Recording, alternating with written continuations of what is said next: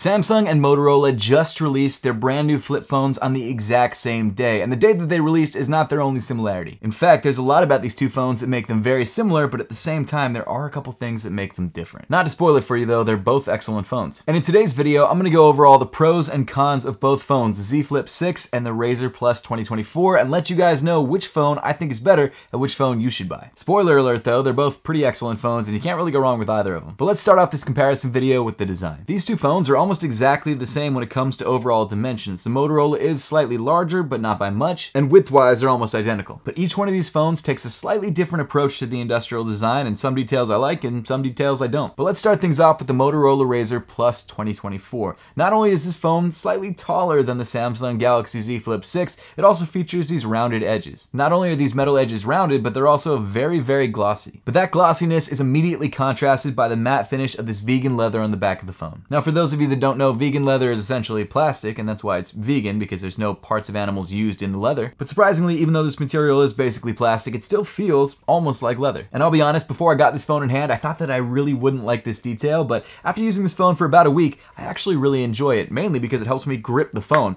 I have a bad habit of dropping phones, and this has really helped me not do that as much. Although if you watch my unboxing video, I dropped it twice in one video.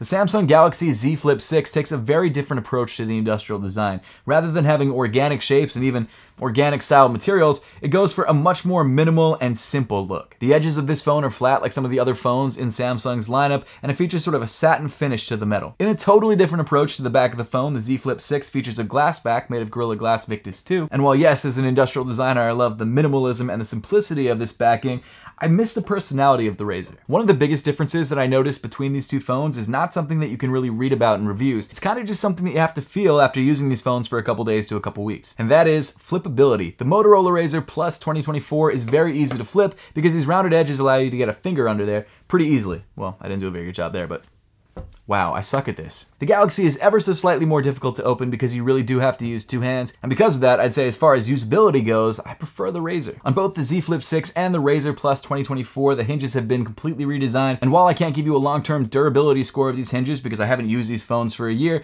I will say that the Razr's hinge is a little bit easier to open, albeit it doesn't feel as secure as the Samsung's. That said, I'm never really worried about this phone flipping over while I'm using it. The Samsung's hinge feels very tight and very secure, however, I wish it was a little bit easier to open. Speaking of the new hinge, both Samsung and Motorola have claimed that their new hinges reduce the visibility of the crease in the center of the screen, and I'll be honest, they both definitely look better than last year's versions of both of these phones. It's really hard to say which one overall is better, they're both pretty similar. If I had to choose which crease is less noticeable, I guess I'd go for the Samsung, but it's also possible that because I've had the Motorola Razr for like five days longer, this crease might be worse just because I've used it more. But the biggest design difference between these two phones is the front screen. I mean, just looking at them, I'm sure you can see what the difference is. The Samsung Z Flip 6 comes with a 3.4 inch display that has this interesting cutout for the cameras, and the Motorola Razr Plus has a 4 inch display that actually covers almost the entire front of the phone. And while yes, you do technically have cutouts for the cameras, it just kind of looks like they're floating there in the middle of the screen. Now besides just the size and shape differences, these front screens are also different in other ways. The Samsung screen gets significantly brighter than the Motorola screen, which is helpful outdoors. However, the Motorola screen is significantly faster. It gets up to 165 Hz, whereas the Samsung only gets 60 Hz. And while sure, you can use all of your apps on both front screens, like responding to text messages, watching Netflix for some reason, and even playing games, the Motorola does all of that out of the box. You can literally install an app on your phone and use it on the front screen right away. The Samsung only has certain widgets that you can use out of the box, and you have to install the Good Lock app to actually allow it. It's not a difficult process, but for someone who wants to be able to use their phone immediately right out of the box for everything that it can do, the Motorola is probably the way to go. For me, even though the Motorola screen is not as bright as the Samsung screen, I definitely prefer it. I like the larger size, I like the faster refresh rate. Overall, I just like it better. But now let's get to the main reason that you would buy this phone, the internal flip screens. So as you might be able to tell right off the bat, the Motorola screen is slightly larger. It comes in at 6.9 inches, whereas the Samsung comes in at just 6.7. That being said, the size difference is negligible, and when you're holding them both in hand, if you hold them far enough apart, you can't even notice a difference. Like the outer screen though, the inner screen is faster on the Motorola. It gets a refresh rate of up to 165 Hz, whereas the Samsung only gets a refresh rate up to 120 Hz. That being said, realistically, for most people, they're most likely never gonna notice the 165 hertz refresh rate, and 120 hertz is very fast as it is. So It's not that important. One difference you may notice if you have these two phones side by side is that the Samsung phone does get brighter on the inner screen as well as on the outer screen. I probably should have used more similar wallpapers, but I didn't think about it until just now. But now let's get to internals and tech specs. The Motorola Razr comes with a Snapdragon 8S Gen 3, whereas the Samsung comes with a Snapdragon 8 Gen 3 for Galaxy. And even though the 8 Gen 3 for Galaxy is a slightly older chip than the 8S, the 8S is technically a slower chip. Both phones can come with 12 gigabytes of RAM, and both phones can also come with either a 256 gigabyte internal storage drive or a 512 gigabyte internal storage. And when it comes to real world use, they both felt very, very similar. I don't do benchmarking because I would never do that in real life they both felt the same. Sure, the Samsung is technically slightly faster, and maybe over the next couple years with more intensive apps, you might notice a difference, but for right now, I didn't notice too much difference. Both phones have a 4000 milliamp hour battery, however, through daily usage, I did notice that the Razr did last slightly longer, usually by 30 minutes to an hour. Not a huge difference, but if you're the kind of person who doesn't want to charge your phone a lot, maybe the Motorola is the better way to go. One big difference between these two phones is charging speed. Obviously, they both get wireless charging, but when it comes to wired charging, the Motorola charges up to 45 watts, whereas the Samsung can only get up to 25 watts which is surprisingly slow, and it's actually the same charging speed that you get on the Z Fold 6, which is disappointing. But now let's talk about one of my favorite features in both of these phones, and that's the cameras. Now, Samsung is well known for their excellent cameras, and the cameras that you have on this phone are basically the same cameras that you have on the S24 and the Z Fold 6. You get a 50 megapixel main camera and a 12 megapixel ultra wide camera. And for someone like me who likes to vlog with my phone, the 12 megapixel ultra wide is a must have. And I'll say as far as color accuracy and sharpness goes, the Samsung is on point. Now the 50 megapixel main camera is a slightly older camera that they've been using in their phones for the last couple years, but it is a big upgrade over the Z Flip 5. The Motorola Razr Plus 2024 also has a 50 megapixel main shooter, but it swapped out its ultra wide camera from last year for a 50 megapixel 2 times telephoto lens. According to Motorola, the reason that they did that is they found that their users were more likely to zoom in than to need an ultra wide lens. So if that data really is true, I definitely understand the change, especially because both of these phones are mainly going to be used for selfies and taking photos of friends. But but again, as someone who likes to vlog, I really miss the ultra wide camera a lot. That being said, the Motorola's cameras are both pretty solid. They do a good job for both picture taking, color accuracy, sharpness, and of course a little bit of zoom. But if you compare the cameras of the Samsung to the Motorola,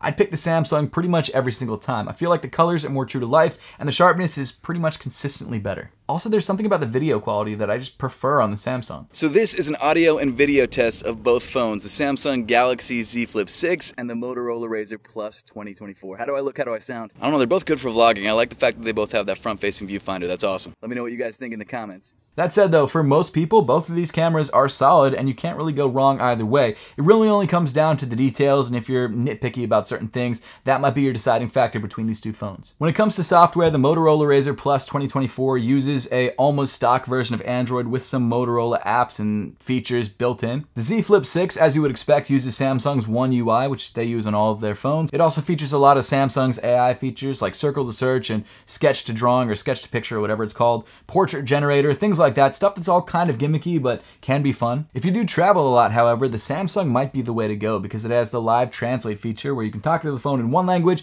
and it spits out the translation on the outer screen, and then the other person can speak into the phone in their language and it spits out the translation on the inner screen, so you can have a conversation through your phone. It's not perfect, but it is a really cool thing. To be honest, that's really the only AI feature that I've seen on any of these flip phones that actually makes solid use of this flippable screen. But now let's get to price because that might be the deciding factor for a lot of people out there. The Samsung Galaxy Galaxy Z Flip 6 is $1,100. It's increased in price about $100 over last year's Z Flip 5. The Motorola Razr Plus 2024 has stayed the same price at an even $1,000. So between these two phones, which are pretty evenly spec, there is a $100 price difference. And I'll be honest, I think that's kind of a big deal because these phones are pretty similarly spec'd. They're both very similar overall. There are some things that one phone does better than the other, but that's about it. So let's go over the pros of each of these phones and I'll tell you guys which phone I would pick and then you guys can make your own decisions. So the pros of the Z Flip 6 are a slightly faster processor. In my opinion, a tighter and possibly better overall build quality, although it's negligible. Better overall cameras, especially if you want an ultra wide. Better AI features and probably better software support over time. Samsung phones tend to get quicker Android updates even if you have a slightly older phone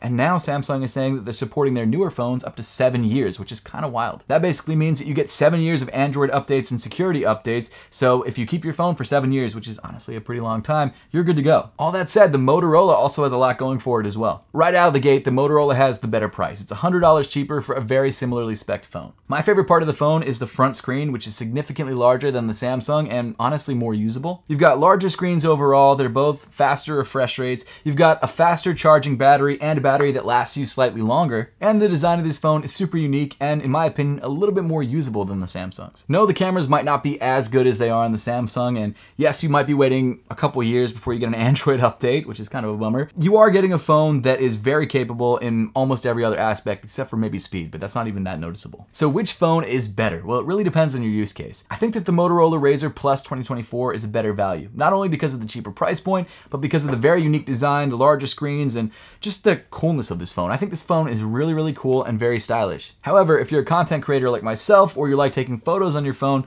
I would probably lean more towards the Samsung Galaxy Z Flip 6. And the reason for that is because the cameras are better. I also personally really like the aesthetics of this phone. I think the industrial design is super cool. I don't like that it's so difficult to open compared to the Razr. That is one big minus, but I think if a good camera on your phone is like the most important thing to you, this is the only way to go. But again, both of these phones are excellent. You really can't go wrong either way. For my personal use cases, I probably would go for the Samsung Galaxy Z Flip 6, although I like a lot of the things on the Razr, whereas my wife would actually go for the Razr Plus 2024. She just prefers the way it looks, she prefers the usability of it, and just overall the fact that it's a Razr, because we both grew up in the 2000s and we both had Razr phones and they were awesome. But let me know which one of these two phones you would pick in the comment section down below. Also, make sure to subscribe to the channel. We are about to hit 100,000 subscribers. I'm not totally sure, but I think we're less than 1,000 subscribers away, at least at the time of filming this video. Maybe we've hit it by now. I don't know. This video probably won't come out for like a couple days to a week after I filmed it. We'll see, but hopefully we hit it soon. I'm so excited for you guys to be a part of it, so make sure to hit that subscribe button down below if you haven't yet. Thanks so much for watching, and I will see you all in the next one.